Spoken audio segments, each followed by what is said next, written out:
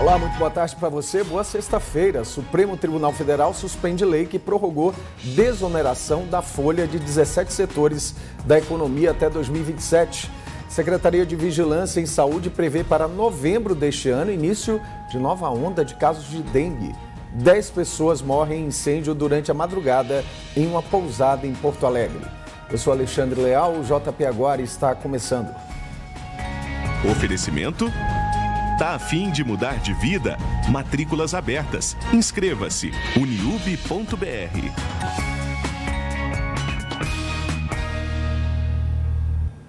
A secretária de Vigilância em Saúde, Etel Maciel, afirmou que a previsão do Ministério da Saúde é que a nova onda de casos de dengue pode ser antecipada para novembro deste ano. Repórter Tassis Duarte tem as informações. Boa tarde, Tassis. Oi, Léo, boa tarde para você também, boa tarde a todos que nos acompanham, acompanham, perdão.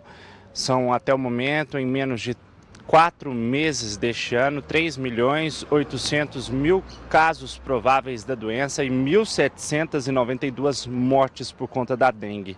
Segundo a secretária, o padrão costumava ser de subida de casos em março e pico da doença entre as semanas 15 e 16, que normalmente ocorrem durante abril, mas que isso foi antecipado este ano e a tendência é que o mesmo aconteça em 2025 o Brasil já bateu os recordes de números de casos prováveis e de mortes registrados pela doença na série histórica. O número mais alto de mortes era de 2023, com 1.179 registros. A faixa etária que mais registra casos de dengue é aquela entre 20 e 29 anos. Leal? Muito obrigado, boa tarde. O ministro Cristiano Zanin, do Supremo Tribunal Federal, suspendeu pontos da lei que prorrogou a desoneração da folha de pagamento de municípios e de diversos setores produtivos até 2027.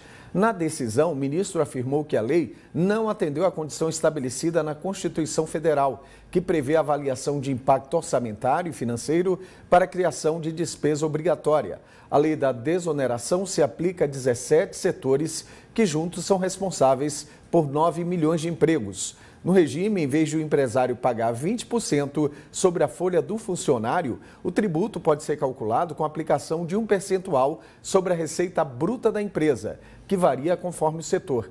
Agora, os demais ministros da Corte têm até o próximo dia 6 para decidir se mantém ou não a decisão de Zanin.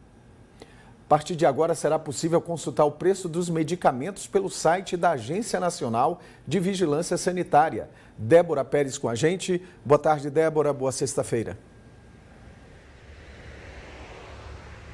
Olá, uma excelente tarde a você, a todos que nos acompanham no JP Agora. A ideia é que as pessoas possam ter acesso de forma mais fácil aos valores máximos autorizados pela Câmara de Regulação do Mercado de Medicamentos.